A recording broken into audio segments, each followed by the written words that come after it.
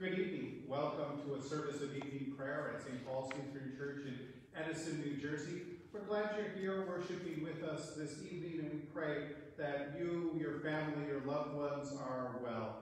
Uh, please take a uh, moment here to sign in in the comment section. Leave your name, uh, and if you like a, a brief message uh, for your fellow worshipers or for me, uh, please leave those in the comment section. And at various times throughout the service, feel free to, uh, to leave a comment, uh, to share peace, uh, to share uh, that kind of good news uh, as we go along through the service. Again, our service this evening is a service of evening prayer with healing, and we begin with our dialogue. Jesus Christ is risen from the dead. Alleluia, alleluia, alleluia. We are illumined by the brightness of his rising. Alleluia, alleluia, alleluia. Death has no more dominion over us. Alleluia, alleluia, alleluia. The Lord be with you. And also with you. Let us give thanks to the Lord our God. It is right to give our thanks and praise. We give you thanks, O God, for the beginning you called light into being. You set light in the sky to govern night and day. In a pillar of cloud by day and a pillar of fire by night, you led your people into freedom. Enlighten our darkness by the light of your Christ. May your word be a lamp to our feet and a light to our path. For you are merciful and you love your whole creation. And with all your creatures we give you glory. Through your Son, Jesus Christ, in the unity of the Holy Spirit, now and forever. Amen. Let my prayer rise before you as incense, the lifting up of my hands as the evening sacrifice. O Lord, I call to you. Come to me quickly. Hear my voice when I cry to you. Let my prayer rise before you as incense, the lifting up of my hands as evening sacrifice. Set a watch before my mouth, O Lord, and guard the door of my lips.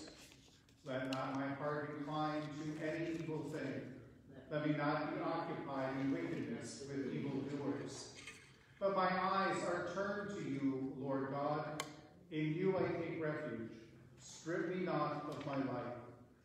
Glory to the Father, and to the Son, and to the Holy Spirit, as it was in the beginning, is now, and will be forever. Amen. Let my prayer rise before you as incense, the lifting up of my hands as the evening sacrifice. Let us pray. O God, your Son makes himself known to all his disciples in the breaking of bread. Open the eyes of our faith that we may see him in his redeeming work, who lives and reigns with you in the Holy Spirit, one God, now and forever. Amen.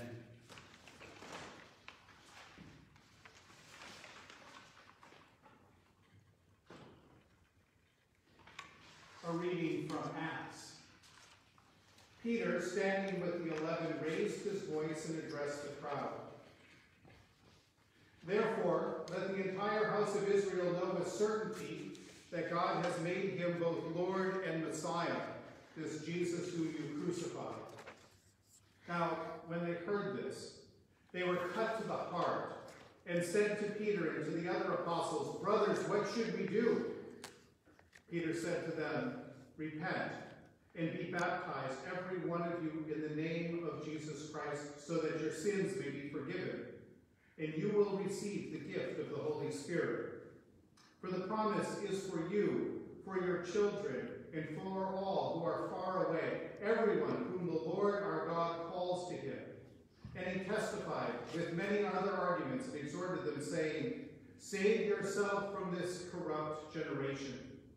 So those who welcomed his message were baptized, and that day about 3,000 persons were added. The word of the Lord. Thanks Thanks be to God. We pray Psalm 116. I love the Lord who has heard my voice and listened to my supplication. For the Lord has given ear to me whenever I called. The cords of death entangled me, the anguish of the grave came upon me. I came to grief and sorrow. That I called upon the name of the Lord. O Lord, I pray to you, save my life.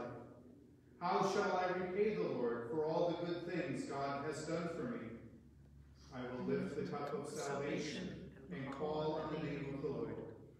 I will fulfill my vows to the Lord in the presence of all God's people. Precious in your sight, O Lord, is the death of your servants. O Lord, truly I am your servant. I am your servant, the child of your handmaid, for you have freed me from my bonds. I will offer you the sacrifice of thanksgiving and call upon the name of the Lord. I will fulfill my vows to the Lord in the presence of all God's people, in the courts of the Lord's house, in the midst of you, O Jerusalem. Uh, hallelujah. And a reading from First Peter. If you invoke as Father the one who judges all people impartially according to their deeds, live in reverent fear during the time of your exile. You know that you were ransomed from the feudal ways inherited from your ancestors, not with perishable things like silver or gold, but with the precious blood of Christ, like that of a lamb, without defect or blemish. He was destined before the foundation of the world, but was revealed at the end of the ages for your sake. Through him you have come to trust in God, who raised him from the dead and gave him glory, so that your faith and hope are set on God. Now that you have purified your souls by your obedience to the truth, so that you have a genuine mutual love, love one another deeply from the heart. You have been born anew, not of perishable, but of imperishable seed, through the living and enduring Word of God, the Word of the Lord. Thanks be to God. Jesus said, I am the light of the world. Whoever follows me will never walk in darkness. The Holy Gospel according to St. Luke.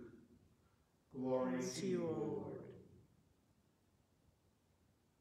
Now on that same day, when Jesus had appeared to Mary Magdalene, two disciples were going to a village called Emmaus, about seven miles from Jerusalem, and talking with each other about all these things that had happened.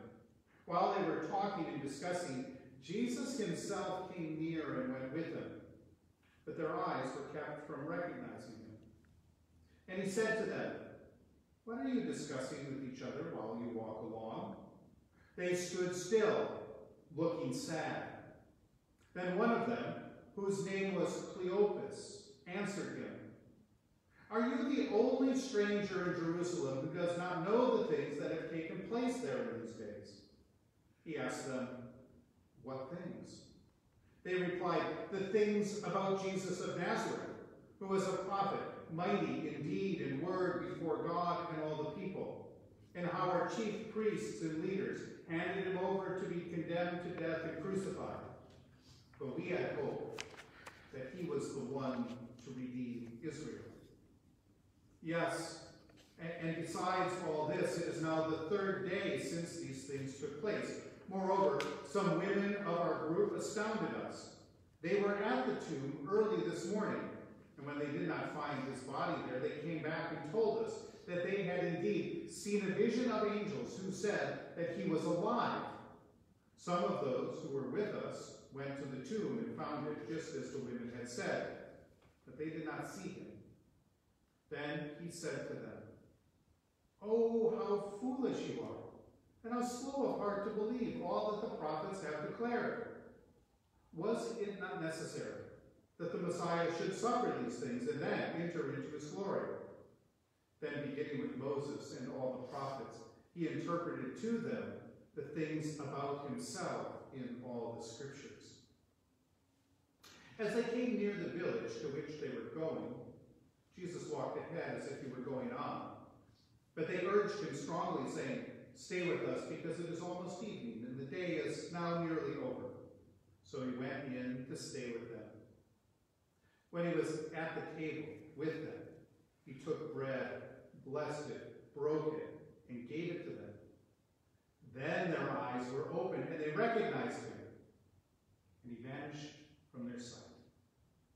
They said to each other, Were not our hearts burning within us while he was talking to us on the road, while he was opening the scriptures to us? In that same hour, they got up and returned to Jerusalem, and they found the eleven and their companions gathered together. They were saying, The Lord has risen indeed and has appeared to Simon. Then they told what had happened on the road, and how he had been made known to them in the breaking of the bread. The Gospel of the Lord. Praise to you, O Christ. We continue our praise of God uh, by joining in Mary's song, our Gospel canticle, the Magnificat. Together. My soul proclaims the greatness of the Lord. My spirit rejoices in God my Savior. My soul proclaims the greatness of the Lord. My spirit rejoices in God my Savior. For you, Lord, have looked with favor on your lowly servant. From this day all generations will call me blessed. You, The Almighty, have done great things for me, and holy is your name. My soul proclaims the greatness of the Lord. My spirit rejoices in God my Savior. You have mercy on those who fear you from generation to generation.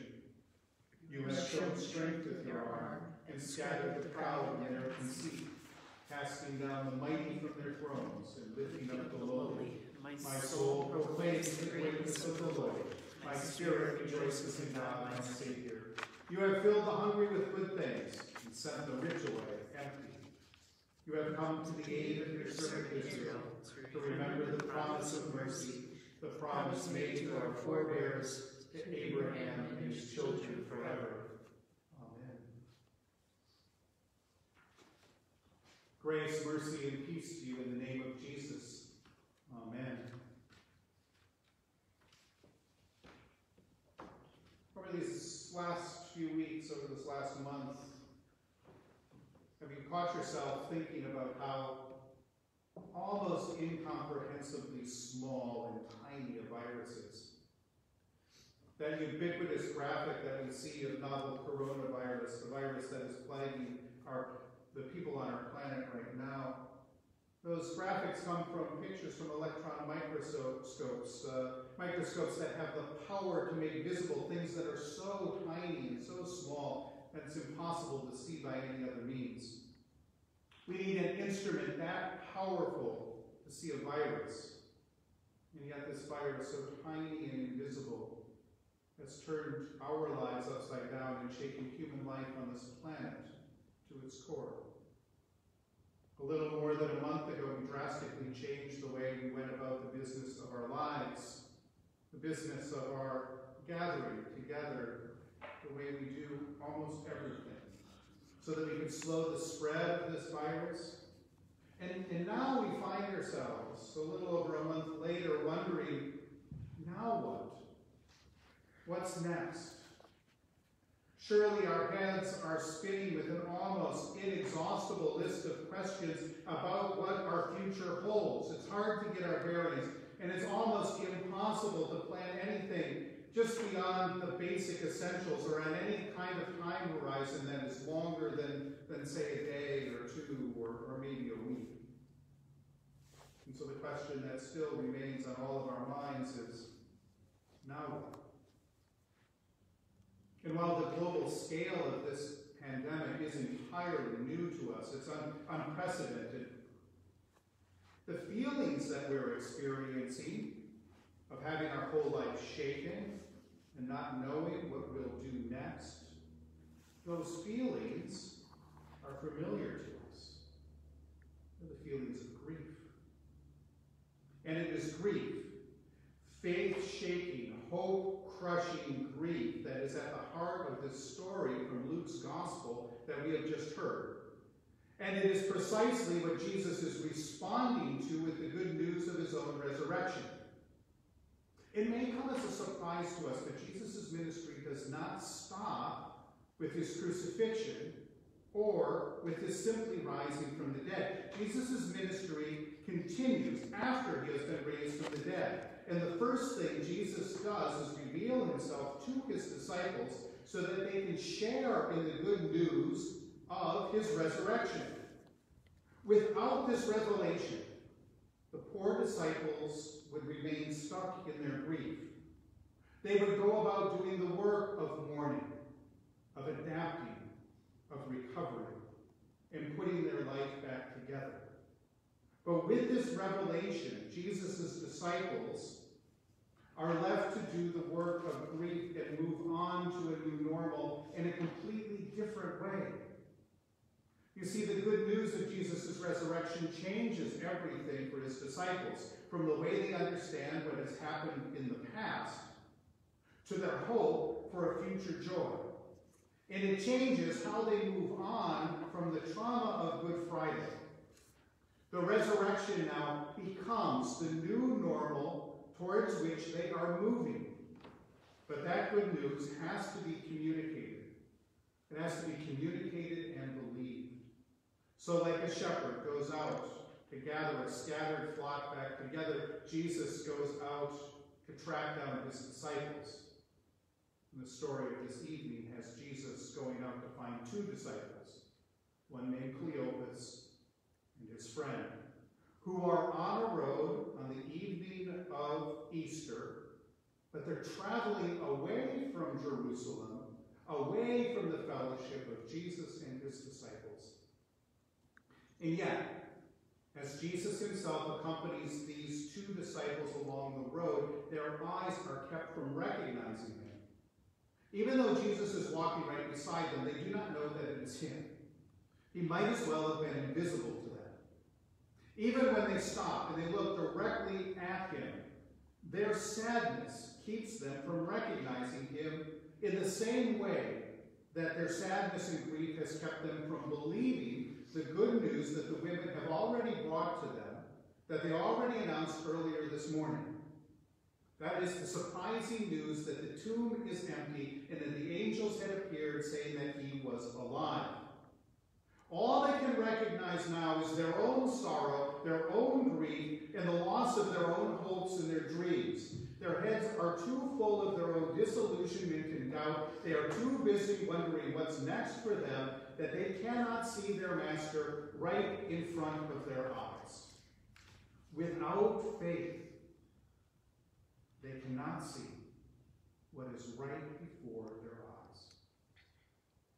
Now, we can certainly sympathize with these disciples. We, of all people, know what it is like when our hopes and dreams and plans for the future dissolve, especially those times when they dissolve in the death of a loved one. We also know that, that for all intents and purposes within our experience, that death is final. We know the void that opens up in our hearts when we lose the one who was at the center of our life, the one that we built our lives around. And we know that part of that work of grief is going about building a new life, a life where we still stay connected to that loved one, but where that loved one is no longer with us. Perhaps that is what these two sad disciples are walking off to do to rebuild their life around something else or something new after they have lost Jesus. And yet, for these disciples, what they have lost in Jesus is their faith. They've lost the faith that Jesus was the one who would redeem Israel and save the world. What these two disciples have lost is their faith in Jesus, and by losing their faith in Jesus, they have lost their faith in God. They had hoped that things would turn out differently. Perhaps they had seen it all play out much more gloriously in their mind. Jesus' triumph, the liberation of the people, the establishment of God's kingdom. That had all ended with Jesus' death, and no matter what anyone else said to them, it would never be the same. All they could do was walk away, wondering, dejected, and sad. Have you been there? Do you know what it is like to lose your faith? Have you felt that sadness of disillusionment when you thought and hoped that things would, would turn out just like you had imagined, only to have your whole world fall apart. At the end of his great sermon on the Mount, Jesus tells the story of a person who builds their house upon sand. When the storm comes with rain and wind and flood, the foundations of the house crumble and wash away. But Jesus promises that all who build on him in faith, by trusting in Jesus, by acting on in faith on his teaching, that they will be like the people who build their house that is anchored on the rock. A house and its strong foundation will withstand the storms. These two disciples have built their house on shaky ground of their own imaginations and expectation, and the storm of Holy Week has washed it away. And yet, and yet I think it is absolutely important to realize that in those times when the foundations of our life have been washed away, that our Lord does not turn away in judgment or rejection. It is here that I think it's important to notice that Jesus is very much alive and present. Not only present, but that the risen Lord has actually gone out to meet them on the road, to accompany them in their despair and their unbelief. It is important to remember that just because Jesus, just because there are times when we feel like our faith is dead and God is far from us, that Jesus is still truly present with us. And not just present, but actively and intentionally engaging us so that our faith is restored and our lives are rebuilt on a surer, stronger foundation. And that is precisely what Jesus is doing here. He goes to them on the road, he accompanies them on their journey, he listens to their story, and then he slowly and deliberately helps them put the pieces back together. Jesus helps them reconstruct the story of God and God's redemption and salvation, and he builds that on the rock that is Jesus for them.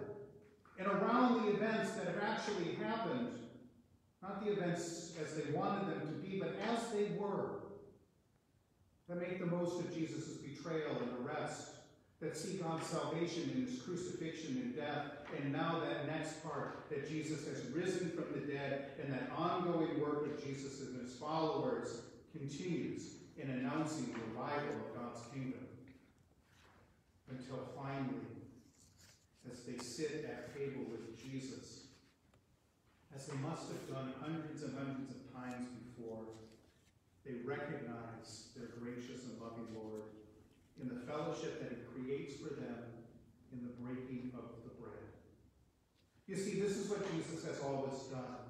From the beginning of his ministry, Jesus has gone out to seek out the poor in spirit, the mourning, the hungry, the humiliated, and the greedy, to, to invite them to his table to eat with them, to welcome them into the abiding fellowship that he has brought, that is peace with God, to announce the coming of the kingdom of God through this breaking of bread and embodied in this meal around the table, and now, after his death and resurrection, that ministry of reconciliation, forgiveness, and peace, that ministry of breaking bread and fellowship at table continues.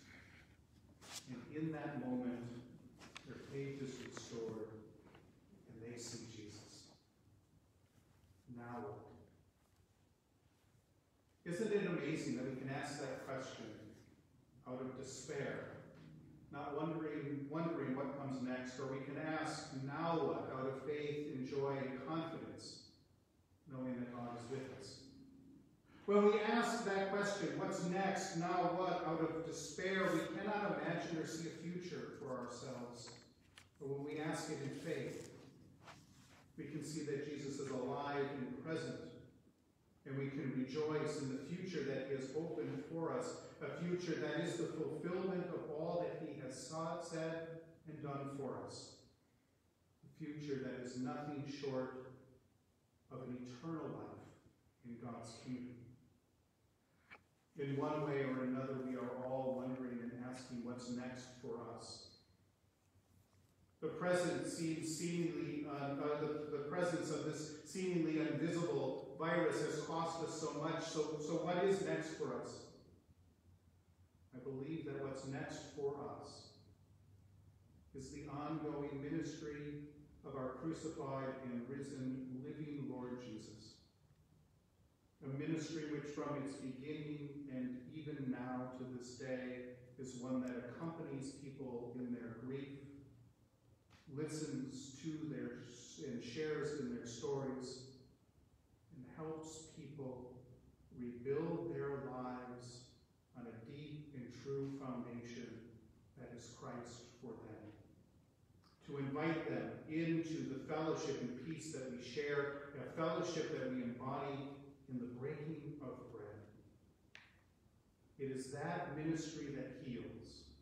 It is that ministry that seeks and comforts. It's that ministry through which the Holy Spirit restores our faith.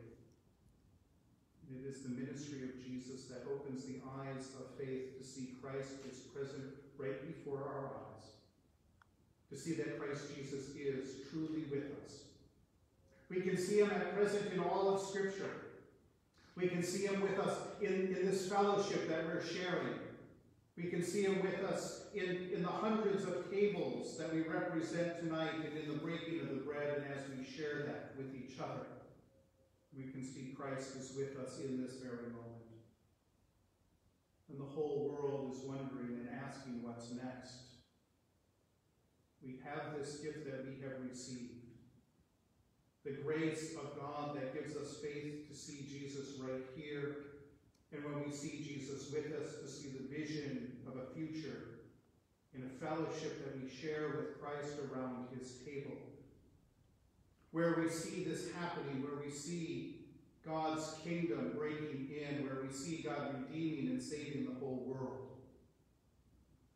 It's a gift that we can share. God's vision for our future. Whole and well in God's praise, gathered around the table and celebrating. In Jesus' name. Amen.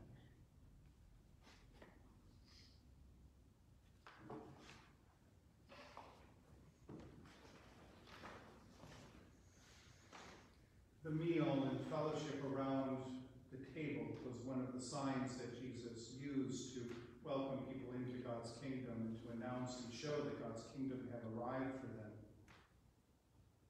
Healing is another. Our Lord Jesus healed many as a sign that the reign of God had come near, and he sent his disciples to continue this work of healing with prayer and the laying on of hands and anointing. In the name of Christ, the great healer and reconciler of the world, we now entrust to God all who are in need of healing. Let us pray. Loving God, our source and our final home, we give you thanks for the gifts of life on earth, for our human bodies and all that you have created. In your great mercy, hear us, O God. Merciful God, by the wounds of your Son we are healed. Bring your saving health to all people. In your great mercy, hear us, O God. Holy God, your Spirit came upon us in the waters of baptism and brought us into the communion of saints. Renew in us the grace of baptism by which we share in Christ's death and resurrection. In your great mercy, hear us, O God. Mighty God, your Son brought healing and wholeness to all. Bring your healing presence now to all who are sick or in pain. Grant hope to all who are discouraged or in despair. In your great mercy, hear us, O God. Compassionate God, the strength of those who suffer, bring hope and peace to all who are in mental, physical, or spiritual distress, especially those who are on our heart this evening, and for whom we have promised to intercede. We pause now to share and to speak their names before you.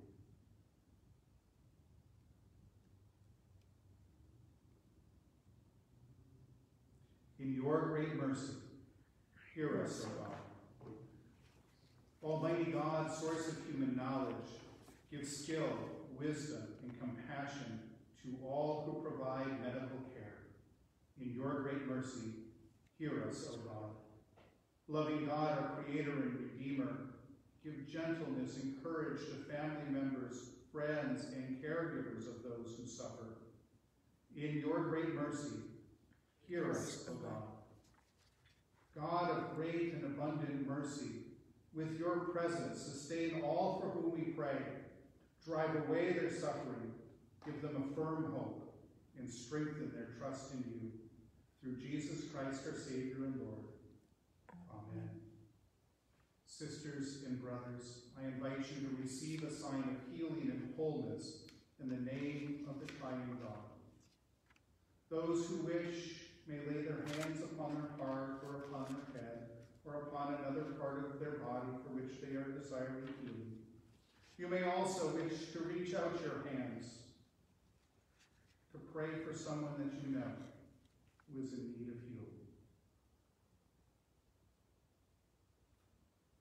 In the name of our Savior Jesus Christ, be strengthened and filled with God's grace and power, that you may know the healing power of the Spirit.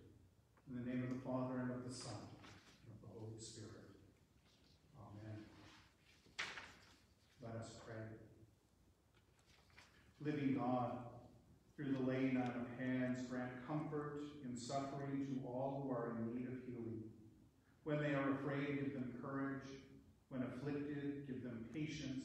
When dejected, give them hope. And when alone, assure them of the support of your holy people. We ask this through Christ our Lord. Amen. The peace of the Lord be with you all. And also with you. Share a sign of God's peace with one another. You may wish to uh, leave that in the comment section below. Uh, if you uh, are, are, also, you might want to reach out to friends or family.